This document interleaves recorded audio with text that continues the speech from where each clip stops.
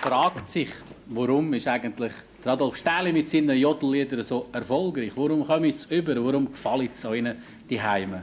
Ich glaube, seine Einfachheit, seine Schlichtheit, auch in der Komposition, im Ausdruck, äh, seine Lieder beinhalten Lebensweisheiten, Lebensphilosophien.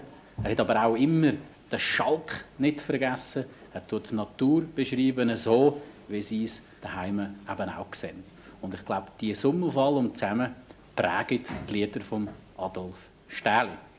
Ich weiß, dass man einen ganzen Abend, und zwar verschiedenartig, könnte gestalten mit dem Komponist Adolf Stähli und ich versuche am heutigen Abend Ihnen ein Bild zu zeigen von ihm, wo man den Menschen ein bisschen im Mittelpunkt stellt und vielleicht auch das eine oder andere aufzeigt, was Sie bis jetzt von ihm noch nicht gewonnen sind. Also wir begleiten ihn auch mal zu einem seltenen Hobby, aber davon später.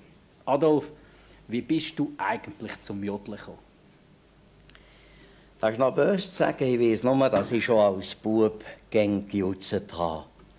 Auf dem Weg in die Käserei man hat einfach geliedet und gejutzt. Vermutlich habe ich das mit der Muttermilch bekommen. ja, und man hört auch an deinem Dialekt an, dass du aus dem Berner Oberland kommst. Vielleicht erklärst du an den Zuschauern, die jetzt Adolf Stähli noch nicht so genau kennen, ich glaube, es sind zwar nicht so sehr viele, woher kommst du genau? Ich bin in Oberhofen am Thunersee geboren worden, dort aufgewachsen und lebe heute noch dort. Wir hören jetzt ein Lied, und zwar ein Duettlied von dir, also eine weitere Kostprobe. Was beinhaltet das nächste Lied? Das Lied heisst «Bei den Hinterschachenleuten» und es sind so ein bisschen Flausen drin. Äh, kommen vor von einfachen Leuten, die ich gerne mit ihnen zusammen bin und beobachte. Mir begegnet etwa zum Glück noch halbwegs an einem Original. Und so ein Original beschreibst du jetzt. Und ich kann Ihnen das Jodelwett von Heidi Koller und vom Rodi Stähli, übrigens auch Brüder von Adolf, vorstellen. Sie werden begleitet am Schweizer Örgeli von Rudi Homberger und am Pass vom Fuchs Fritz. Und der Titel «Bitte hinter Schachenleuten».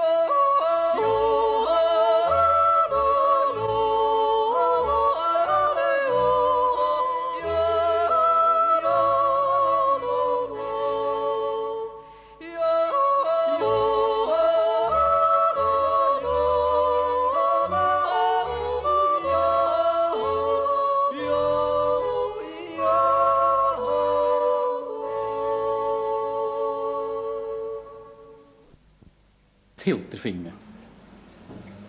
Da wärst du jetzt also die meiste Zeit erreichbar. Ja, das ist das Gemeinshaus von Hilderfingen, das wir haben gesehen Und das ist so eine typische Morgenbetrachtung von Adolf Sterli. Schon, ja. Also mit anderen Worten, du musst natürlich vorwiegend Eintragungen machen in die Register. ja. Ich führe Familienregister von vier Gemeinden, dazu Geburt, Ehe, Todesregister. Das sind Bücher für sicher aufbewahrt. Also nicht wegen Stellen. Oder? Ich glaube, nimmt das jemand Weg? Nein. Schon nicht. Wegen der Brandgefahr. Da schlägst du jetzt gerade das Eheregister auf. Und brauchen eine ganz spezielle Tinte.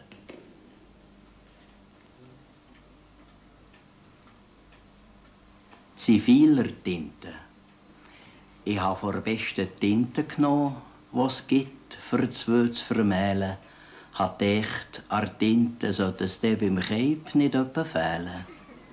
Die Tinte macht aus zwei Herzen das Ganze ohne Fugen. Und dass es nicht voneinander geht, da müsst ihr selber schauen.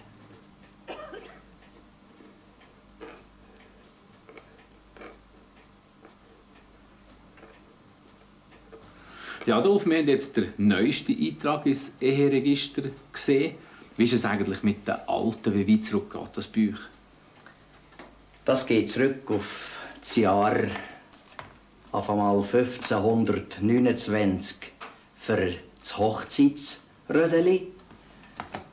Da ist eine alte Gemeinsrechnung von Oberhofen wertvoll eingebunden mit einer Mönchsarbeit und alte Notenschrift getroffen.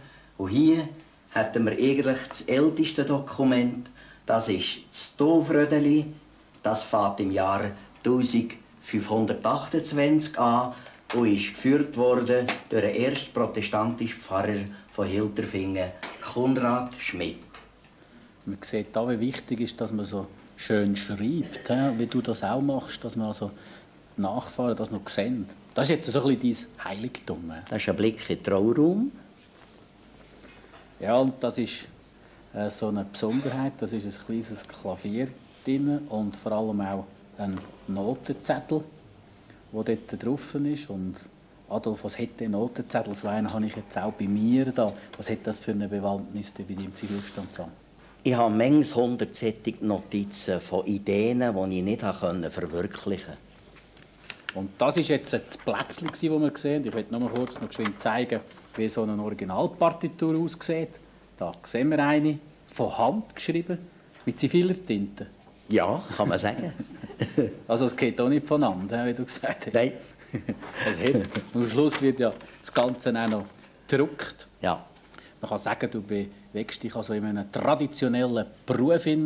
Ziviler, früher, heute siehst du da überhaupt auch eine Brücke zu deiner Tätigkeit, zu deinem Hobby. Ganz sicher ein Zusammenhang. Mein Beruf als Zivilstandsbeamter äh, führt mich zum Mensch in, in Freude und Leid. In Freude und Leid habe ich mit dem Kontakt und schöpfe daraus ganz sicher viel Wertvolles. Und du gibst mir gerade ein Stichwort so mit Freude und Leid und Mensch. Und eines von deinen nächsten Lieder kannst du vielleicht wieder beschreiben, kurz den Inhalt? Das Duett singt muss gegen ein bisschen Gosle. Nein, das singt das Heidi Eleni. Und das Lied ist eine Kampfansage an die lärmige, moderne Musik. Und wenn man denkt, wie die Musik mir im Ohr wehtut, dann muss ich hinterdrein sagen, dass der Text noch recht freundlich ist rausgekommen.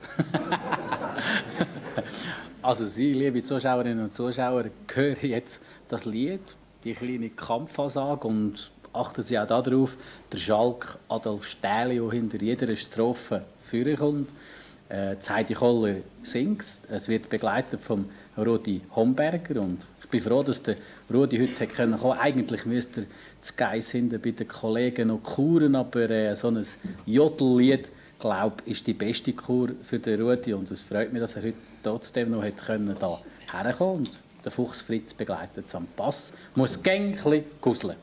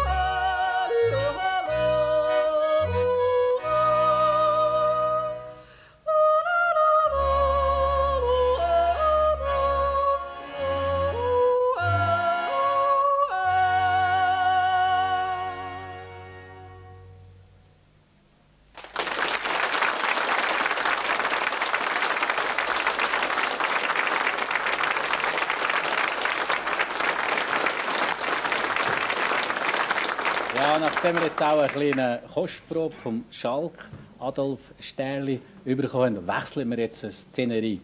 Adolf Sterli ist stolzer Besitzer von einem Kuhli und geht damit auch auf die Alp bis Justistal. Und selbstverständlich hat er auch Anspruch auf ein Kästeilen. Und da sind wir jetzt am Kästeilen im Justistal. Adolf, wie geht das eigentlich ganz genau? Äh, wie kommt man denn da zu dem Käse? Gibt man dir einfach, weil du der Adolf Stähli bist, da ein paar Kilo mit? Nein, du musst auch Kutzberg tun oder nachher musst du deine Tagwerk machen. Du musst auch so etwas leisten, wo es beträchtliches zahlen. Und wenn du eben eine gute Kuh hast, dann kannst du im Herbst den Nutzen ziehen. Es wird ja da viel geliedet, auch dort oben. Es ist ein Volksfest und da muss man nicht unbedingt in einem Jodelclub sein, um da Nein, mitzumachen. das hilft alles, jung und alt. Das ist noch ein richtiges Volksfest.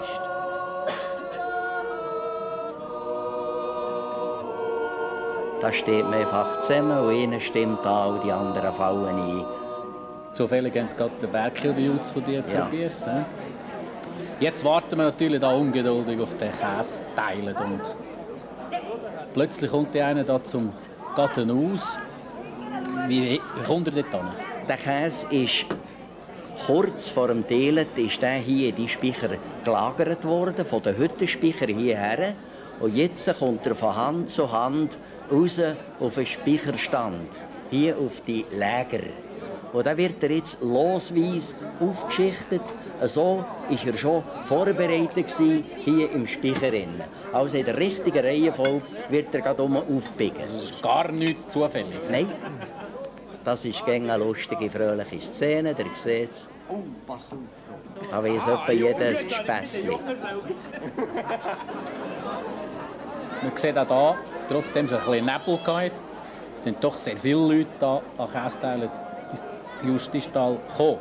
Da ist er, der Justistaler. Und ist jetzt das das Los? Ja, jetzt sehen wir wieder einen Käser aus dem Zettelkäppi raus das Brittli nimmt und blind die Los verteilt, äh, die Brittli verteilt auf die Los.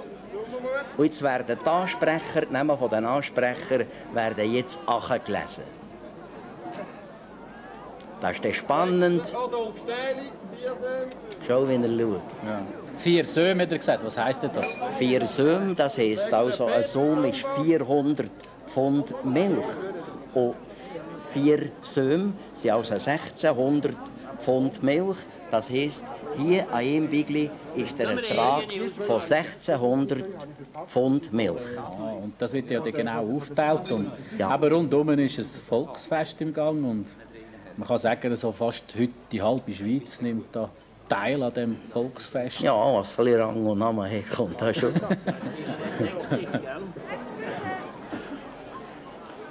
Früher hat man das noch wahrscheinlich auf ein Fuhrwerk da.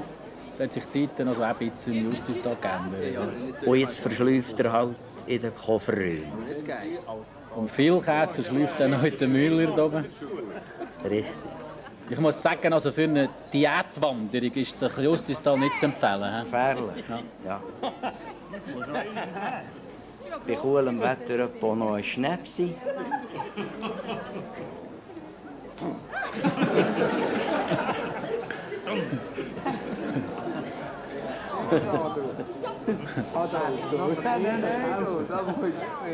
Ja, man ist irgendwie zufrieden erlöst und da kommt man jetzt, das ist auch noch wichtig zum Essen. Einer der schönsten Momente, wenn man sich nach dem Teilen kann niederlassen im Mutzengräsli und noch etwas zu neun nehmen.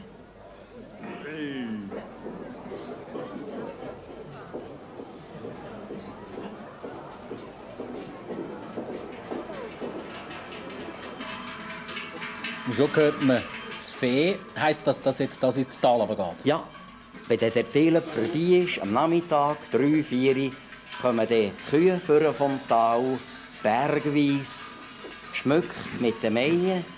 Die besten Kühe tragen hier den Schmuck. Und hier ist mein Kuhli. Es hat ein bisschen Angst vor der Kamera. Hat ein bisschen Brot nicht so recht wollen, das ich ihm wollte geben. Darum habe ich zuletzt noch Touch aufs Viertel gegeben. Doch, ich glaube, wir haben einen kleinen Einblick bekommen in dein Tagwerk und vor allem auch in Kästeile des Justistal. Ich begrüße jetzt aber bei mir herzlich den Paul Eckenberg, Schriftsteller von Oberhofen. Sind Sie auch herzlich willkommen bei uns im Feierabend.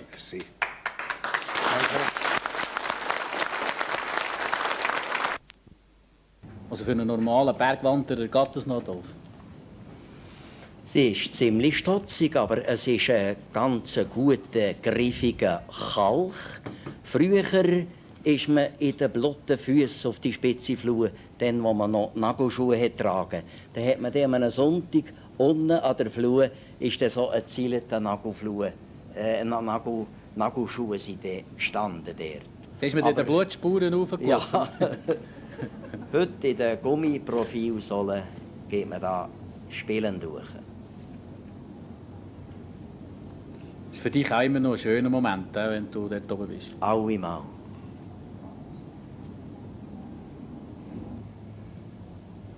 Ein wunderbarer Tiefblick achen auf den Thunersee. Ja,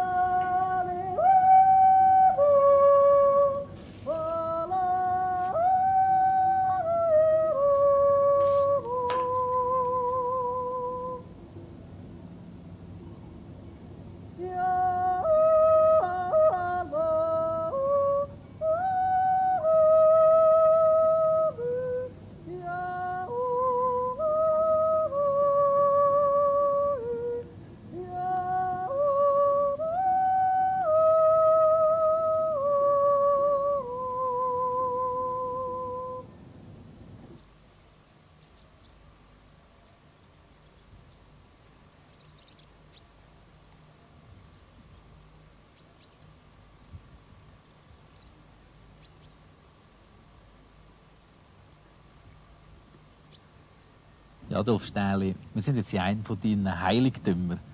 Auf dem Plätzli, bei der spitzen Flur. Was bedeutet die Umgebung, das Plätzli für dich? Ja, schau, eigentlich wäre ich nicht ein Mensch gewesen, der ein Leben lang im Büro äh, verbringen Ich wäre ein Mensch gewesen, der in der Natur hat sollen leben. Und den Drang habe ich einfach. Und dem kann ich dann so Samstag und Sonntag eben doch nachleben. Und weil der Sigriswilder gerade hier nicht weit von mir daheim ist, ist das auch mein Erholungsgebiet geworden.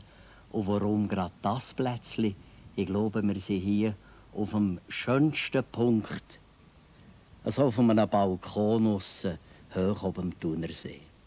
Auf dem Balkon, auf dem Thunersee, rund um die spitze Flur beim Plätzli, dreht sich ja einige Kompositionen von dir. Äh, hat sich das so niedergeschlagen, dass du das sogar hier oben schreibst oder fallen dir die Melodien hier auf dem Platz ein? Eigentlich selten, aber das, das Plätzchen ist ja so für mich so der, der Inbegriff von der, von der Freiheit und vom, vom mir gut gehen. Darum kommt das Plätzchen und die spitze Flur eigentlich so in engem Lied von mir vor. Angefangen hat es schon mit dem Maientag. Der kommt die spitze Flur auch schon drinnen vor. Ja, es geht über bis eigentlich zum Lied «Mein Plätzli». Ja. Und was war denn dort die Triebfeder? Ja, sicher die, Lie die Liebe zu dem Plätzchen hier. Ich glaube nicht, dass mir das Lied hier ist Sinn gekommen. Es kann ja mir auch etwas Sinn kommen aus einem Verzicht heraus. Wenn ich lange nicht zu Berg kann, dann, dann staut sich in mir eine lange Zeit auf.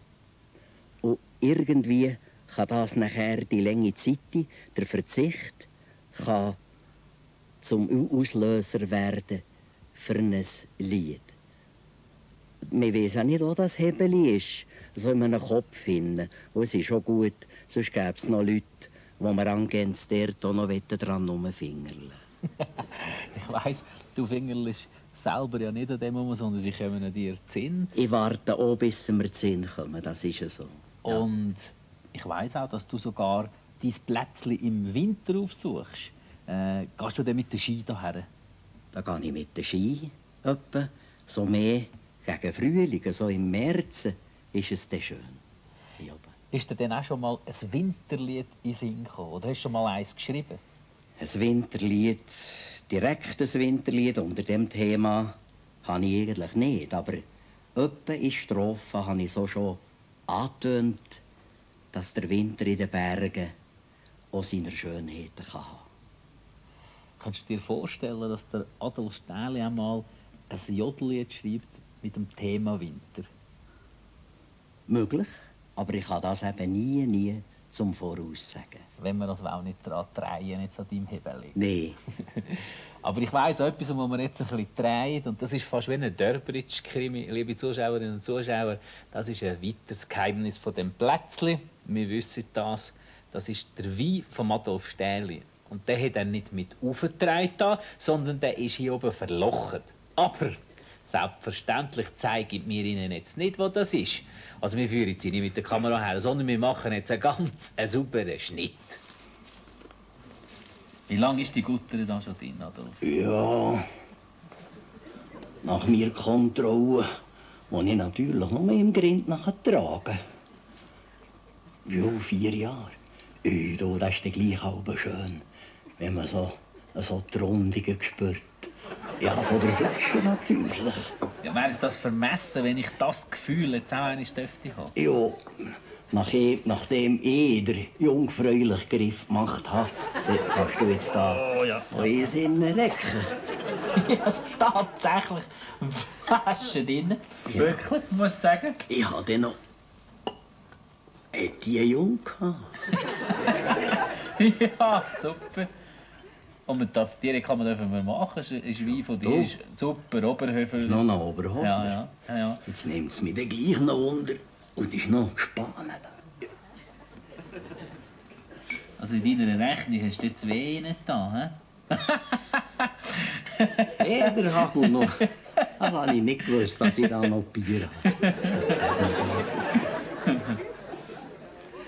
Was ist denn da? Im hinteren Kämmerli. Man hört sie, hä? Ja, ja, es tut sich was, es tut sich was. Es gibt jetzt gerade eine Steinsgeburt. Ja, ja. Oh, voilà. Und da kommt der Rot auch noch vor. Da kommt der Rot. Die Landesfarbe kommen Das ist die Alben noch so spannend. Ja, die Etikette sind die Alben nach Jahren fort. Die dreckige Flasche, die ich aus dem Herd rausnehme, nur so der Tür zu ziehen.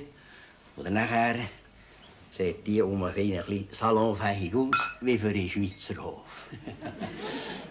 Die Weinvergraberei, macht man das da hier überhaupt in der Gegend oder hat das irgendeinen anderen Ursprung? Ja, fast jeder Bergler hat hier oben Wein verlochend. Äh, das ist so der Brauch.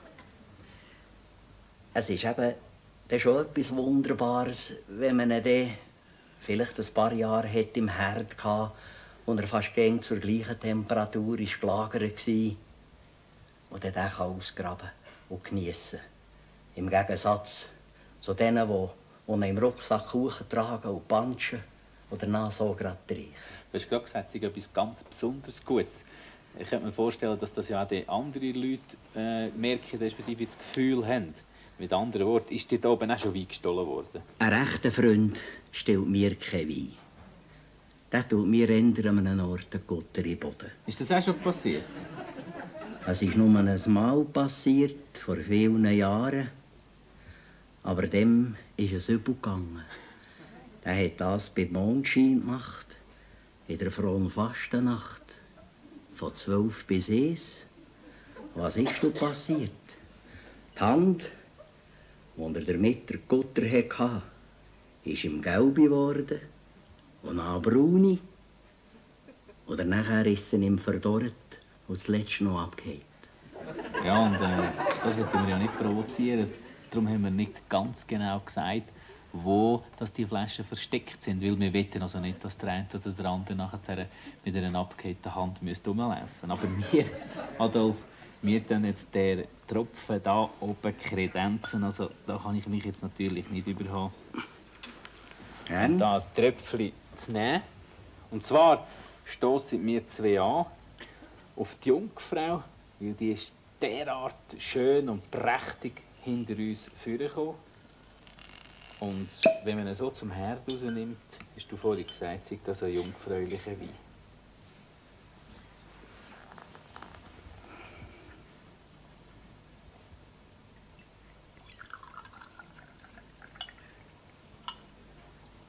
Es ist Oberhofner. Der Jahrgang kann man nicht mehr lesen. Aber ja, das ist ja beim Wein nicht so wichtig. Und bei mir auch nicht. Und bei dir. Gesundheit. sehr Gesundheit.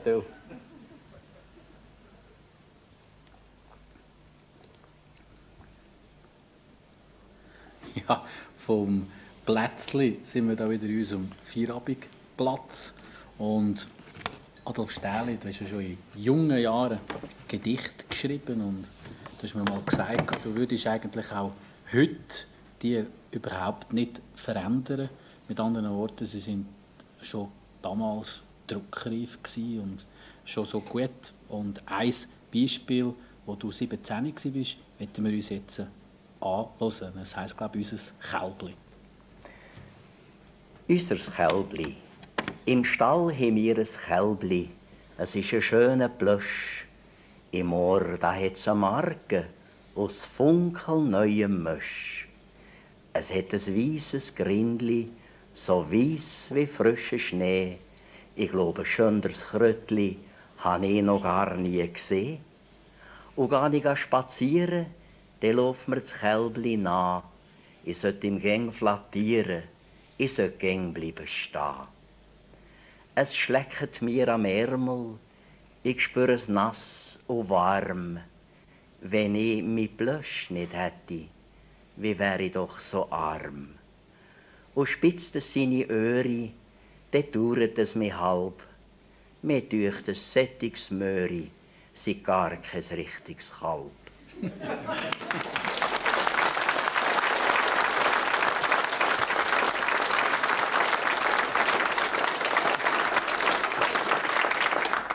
Adolf, man könnte sagen, du bist kein gewöhnlicher Zivilstandsbeamter, du bist auch nicht kein gewöhnlicher Komponist und vor allem, du hast auch kein gewöhnliche Hobby, so für jeden normal Sterbliche. Und da haben wir dich ebenfalls begleitet, und zwar zum Bergbachfischen.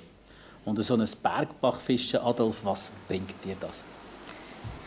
Das ist schon eine wunderbare Erholung für mich in der Natur, dem Bach nachher, der so rauscht. Da sind auch Lieder drin, manchmal fast mehr wieder eben im Weissen. Ich erlebe hier viel, ich sehe Tierli, muss klettern. Der Bach äh, tut sich von einer Höhe von etwa 650 Meter über Meer bis auf etwa 1300 Meter über Meer erstrecken. Es ist nicht ganz ungefährlich. Es hat wilde Schluchten drinnen. Aber jetzt äh, mal ganz im Ernst und ohne Fischerlatein. Nebst dem Wandern kann man auch Fisch faden drin. Ja, ganz sicher, das werdet ihr dann noch erleben. Also die muss man nicht im Konsum holen. Nein,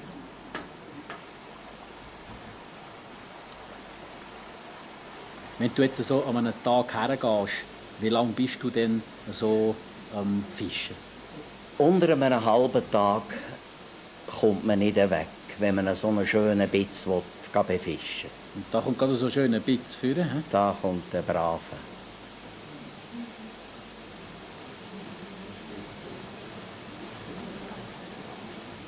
Aber es hat auch noch kleiner drin. hä? Hat auch kleiner drin, zum Glück.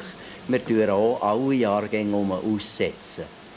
Man muss also auch hegen, wenn man etwas daraus ziehen will.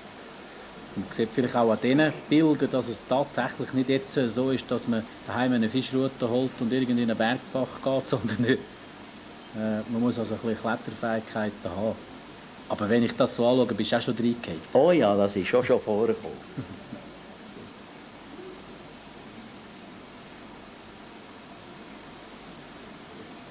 Wie gesagt, auch da ein absolut ungewöhnliches Hobby von Adolf Stähli. Ja, ich hoffe, liebe Zuschauerinnen und Zuschauer, Sie haben einen ganz kleinen Einblick bekommen in den Mensch Adolf Stähli, was er ein macht. Ich betone nur mal einen ganz kleinen Einblick. Ich bin mir wohl bewusst, dass wir noch einen ganzen Abend hätten können über den Adolf Sterli berichten. Aber vielleicht haben Sie auch eines von seinen Lieder oder hat Sie eines von seinen Lieder besonders angesprochen oder vielleicht suchen auch Sie irgendwo in Ihrer Umgebung mal ein Plätzchen, wo Sie sich ebenfalls können erholen können. Oder gehen Sie mal in die Natur raus, gehen Sie mal irgendeinem Bach nach wandern und ich bin überzeugt, auch Sie können sich wieder ein bisschen erholen. Ich bin Ihnen noch das Zwischenresultat äh, äh, schuldig von unserer Weihnachtsaktion, die wir letztes Jahr gesammelt haben für die notgeratene Familien. Und ich kann sagen, wir haben ein wunderbares Sammelergebnis gehabt. 270'000 Franken sind durch Ihre Mithilfe zusammengekommen. Dafür möchte ich Ihnen allen zusammen, ob Sie ein kleiner oder ein grosser Spender sind, recht herzlich danken.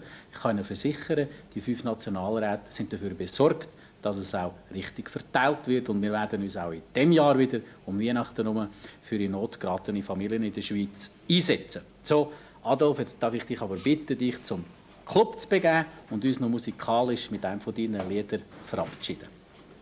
Herzlichen Dank, dass du heute bei uns warst.